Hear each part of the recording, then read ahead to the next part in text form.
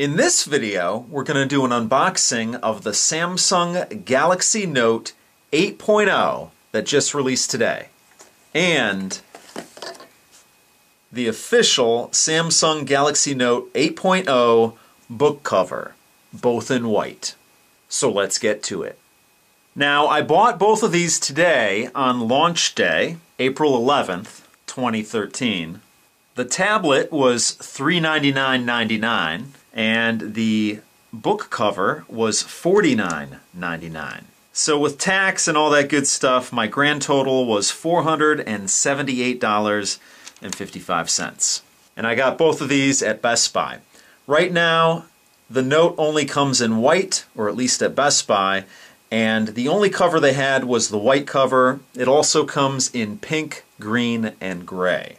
So why don't we start with the Note.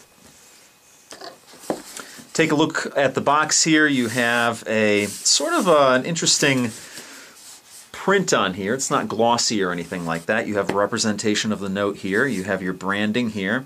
It's the Wi-Fi version, 16 gigabyte. On the right side of the box, it has a seal here. Has uh, some information here that says this box is made from 100% post-consumer recycled paper and printed with soy-based inks. It's 100% recyclable, which is interesting. On this side, you have your Samsung Galaxy Note branding. Up top, some more branding. Again, the Wi-Fi 16 gigabyte version. On the bottom, I have covered the serial number and all that good stuff on this device. Now, on the back, it's interesting. It gives you the specs here. It's an 8-inch tablet, as the name would imply, measured diagonally. It has the S Pen, it has a 5 megapixel camera on the rear and a 1.3 megapixel camera on the front. It has an IR LED, so it has smart remote technology in here, universal remote control. So you can use this as a universal remote for your television set and your components. You have Android operating system. I believe it's Android 4.1 on here, but we'll get into that later. You have a quad core processor here, 1.6 gigahertz quad core processor. You have 2 gigabytes of LPDDR2 RAM, and it has full HD 1080p playback and recording, and it has a 4,600 milliamp battery. Then you have all your certifications here, Wi-Fi, Bluetooth, and all that good stuff. So why don't we break the seal here with my trusty cutter and open this thing up.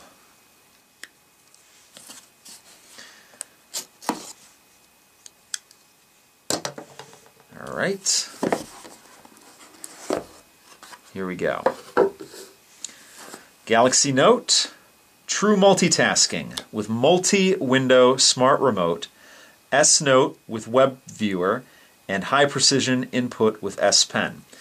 The reason I got this is I'm going to be selling a lot of my tablets. My iPad, I'm going to sell my Nexus 7, and I wanted something new, but the real selling point on this was the pen and the multitasking. So you can have two windows open at once, and the pen is something new for me. This is going to be my first ever Samsung Android product with TouchWiz on it. I had a Samsung Galaxy Nexus in the past, but that was stock Android. So this is a sticker up top here. We'll pull that off in a second. But uh, looking at the device, it's a nice size and uh, it's a nice weight. So let's put that to the side and see what else is in the box here. As we open it up, all this recyclable material here, you have some documentation here. You have the USB cord you have the wall plug here with Samsung branding on it here and it plugs in on the side there. Of course the US version for those of you watching outside the United States and that's pretty much everything in the box. So let's put that to the side and let's take a look at the book cover before we get into the tablet itself. So they only had two of these at Best Buy. And there's some tape here, so let's open that up. Again, it does come in several other colors, but at Best Buy they only had two white ones. So white, I might be using this on the road or I might just keep it in the house. I haven't decided. But uh, white, I think, will probably get dirty, but I assume it's going to be easy to clean, so not a big deal. But um, let's get this thing open here. There we go. Get it out of the plastic. Okay, it is a uh, white vinyl feeling material. It's actually textured. I don't know if you can see it there. Has the Galaxy Note 8.0 branding, Samsung branding up here. There's a little space up here. Now there are two versions of the Galaxy Note. There's one with a phone radio in it, and then here in the United States, they're only selling the Wi-Fi version at the moment. But I believe the version with the phone in it has a speaker up there. This one does not. So there is actually a cutout there. I don't think it's going to come in handy on my model. But uh, let's pull this out here. Some foam innards there, and then it shows you how to place the tablet in there. We'll do that in a second. On the inside, it's a uh, fabric-like material, very soft, so that you're not going to be scraping your brand new tablet. On the back, it's more of a rigid, not very rigid, but more rigid than the front plastic. It's also textured there. Know if you can see it there. With your Samsung branding there and a cutout for the rear camera. And there's also, it appears that, I don't know what kind of buttons are on the device, but uh, you do have a, what appears to be probably the power button here, and some cutouts on the top and whatnot. But we'll get into that when we actually put it on. So here is the Galaxy Note 8.0, and we're going to do a little quick tour around the device here.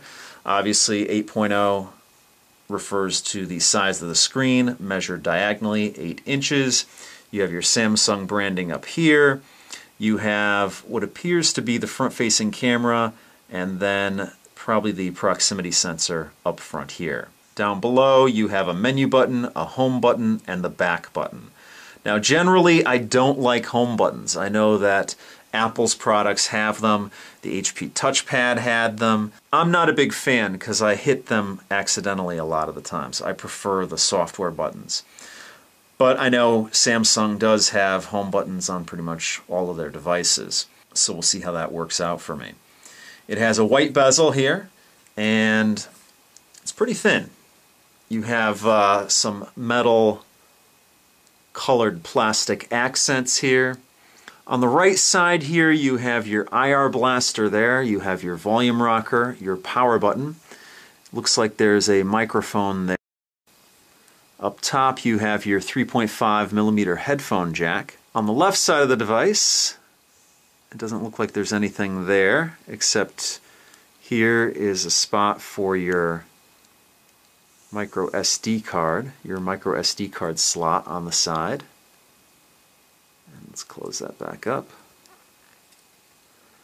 And on the bottom, it looks like you have two speakers and then your charging port down there. Now there's some plastic on the back here. Let's see if I can get that off.